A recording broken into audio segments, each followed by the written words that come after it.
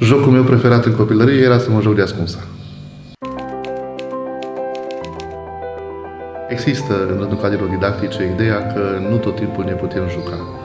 Eu am învățat în această săptămână și mă, mă și întorc acasă uh, cu dorința de a gândi fiecare lecție pe care o, o gândesc pentru învățământul primar cu un mic joc, chiar dacă necesită un pic de timp.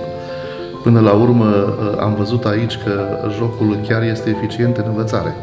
Și dacă este eficient, este în regulă să ne jucăm atunci, pentru că uh, activizează mult mai atent, mai responsabil și mai uh, viu copiii. Jocul în clasă dezvoltă la elevi comunicarea, creativitatea, spontaneitatea, curajul de a vorbi în public, uh, uh, gândirea critică.